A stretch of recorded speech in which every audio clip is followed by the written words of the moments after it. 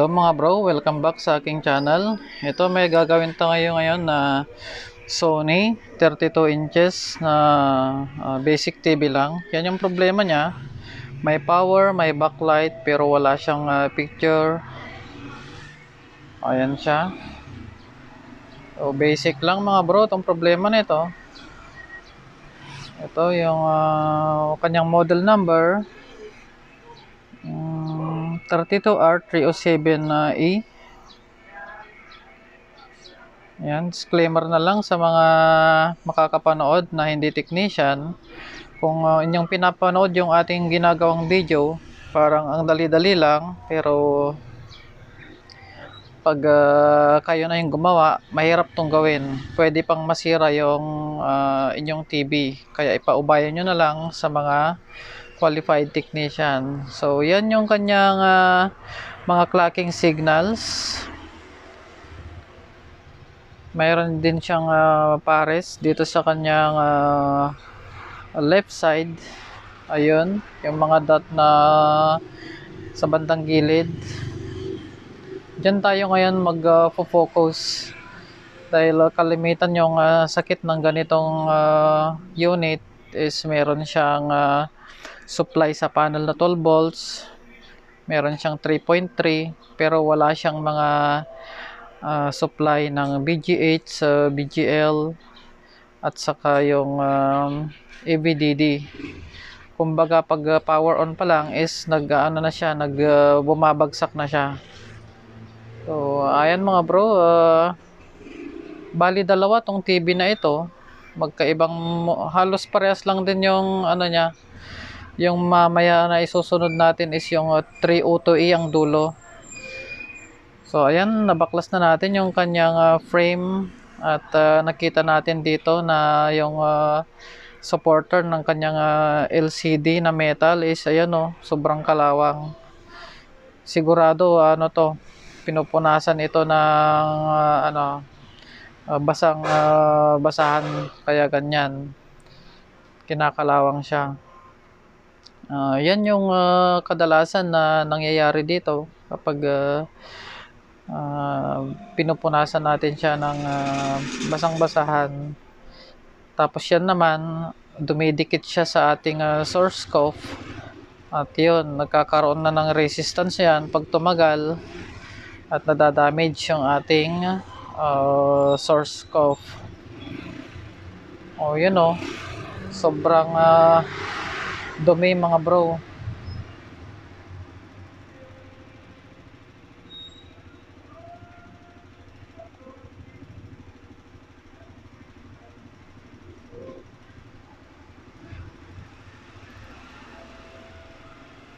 check natin kung mayroong bakas ng sunog dyan mukhang wala naman pero dito sa kabila pag uh, tiningnan na natin doon sa kabila mga bro meron ng ano yan meron ng uh, sunog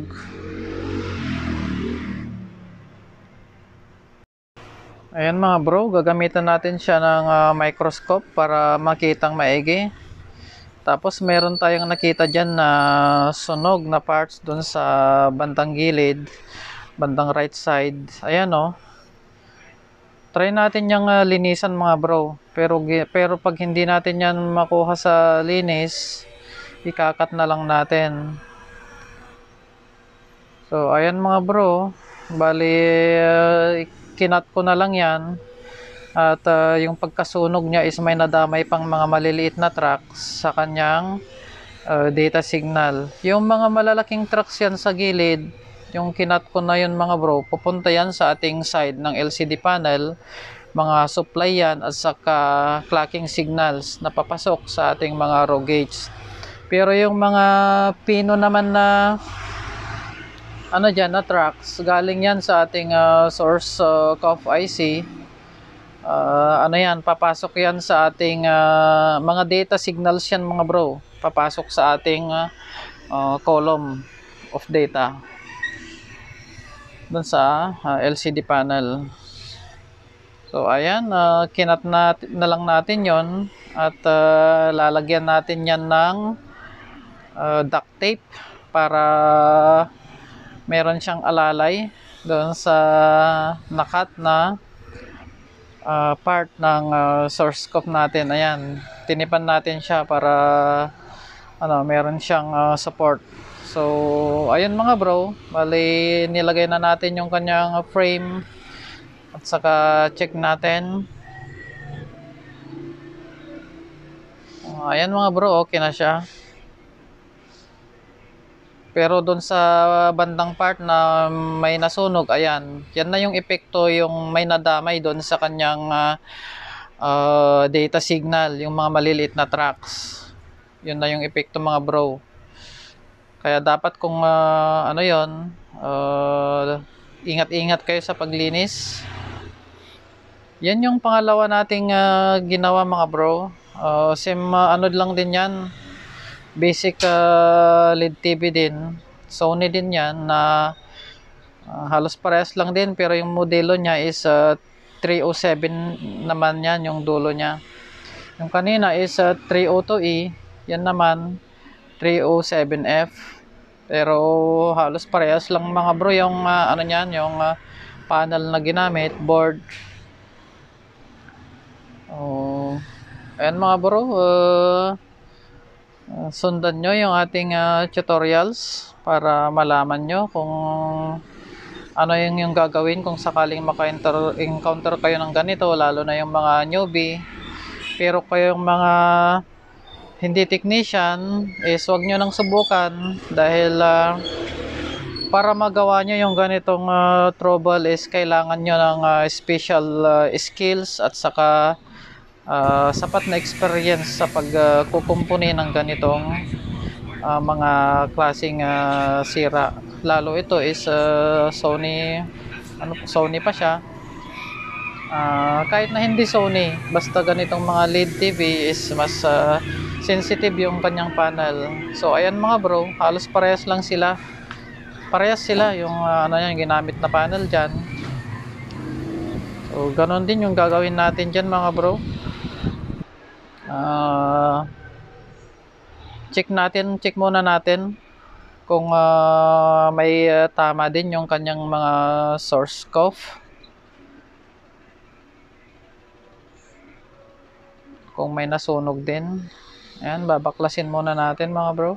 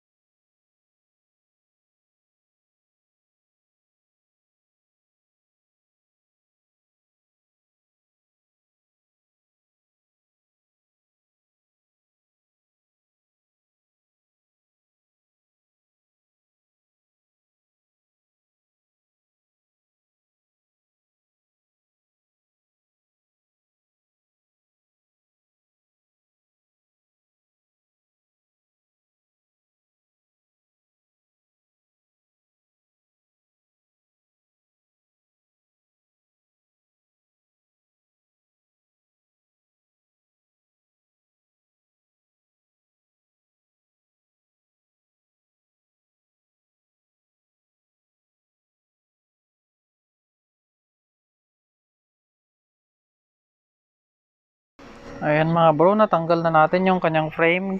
Gamitan natin siya ng ah, microscope para ah, silipin natin yung kanyang source scope kung mayroon ding sunog. Pero ito, ah, mas malinis to.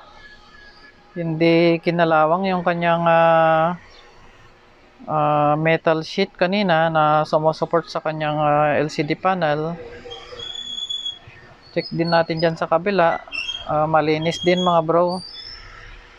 Okay, malinis siya.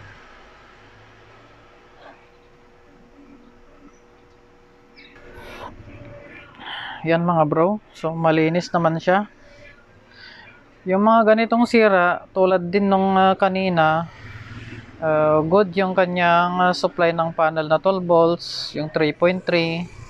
Yung kanyang ABDD, BGH, or uh, BON, or uh, uh, BGL o kaya BOF, bumabagsak yung mga yon. Kaya ang kalimitang sira nito is doon sa kanyang mga uh, clocking signals. Ayan yung uh, mga clocking signals niya mga bro. Napaliwanag ko na noon yan sa ating mga unang tutorials. Uh, left and right yan na nakaparallel. Kaya pag nag-test tayo ng continuity, meron niyang continuity sa isa't isa. Yung CKB1, CKB1 sa ating uh, right side, CKB1 din sa left side. Uh, meron siyang continuity. So, bali, yan yung ginawa ko dyan mga bro. Inuna kong kinat yung kanyang mga clocking signals, yung mga anim dyan, doon sa gitna. Bali, ano yan mga bro, uh, tatlong pares yung ginamit dyan. Inuna ko yan na uh, kinat, pero wala siyang epekto. Kaya ang ginawa ko is, uh, binalik ko yung uh, una kong cut at lumipat ako dito sa ating uh, left side. Yan. Kinot ko din yung mga clocking signals dyan. Yung bandang gitna dyan mga bro. Yung anim dyan, kinot ko. Pero wala pa rin uh, epekto mga bro. Kaya kinat ko, na, kinat ko na lang lahat yan. Yung mga ibang uh, uh, katabi niyang tracks. Mga signal yan ng uh, uh, BSS, BGL, kinat ko na lahat yan mga bro pero wala pa rin siyang epekto. So ibig sabihin is nasa kabilang uh, side yung may problema. Kaya binalik ko yan at uh, uh, bumalik ako doon sa right side na una kong una akong nagcut. Doon kasi sa una kong cut dyan hindi ko kinat yung uh, ibang trucks dyan.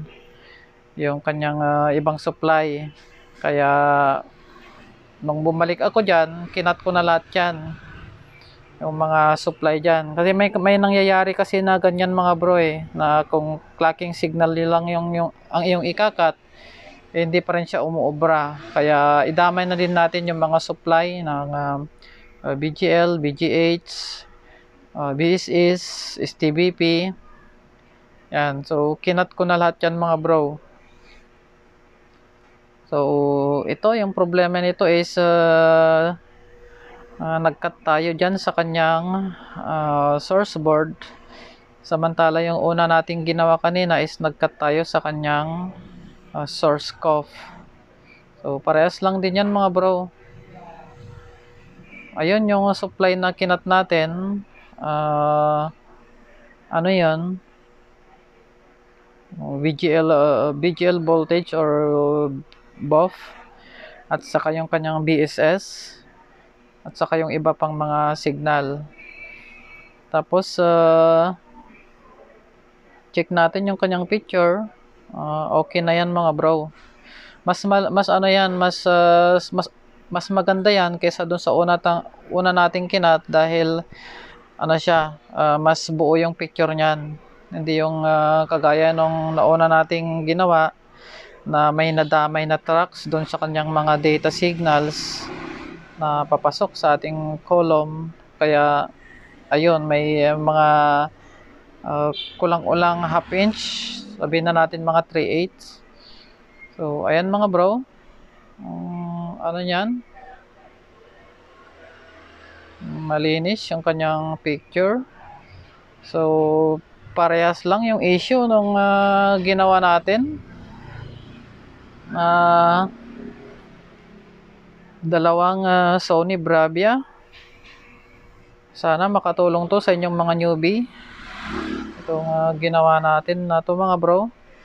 Kaya kung nagustuhan nyo yung ating video, please like, share, subscribe na din kung ah, hindi pa kayo naka-subscribe para sa susunod nating mga ah, repair is ah, ano, ganahan tayong gumawa ng mga video. Okay mga bro, hanggang dito na lang. Uh, maraming salamat.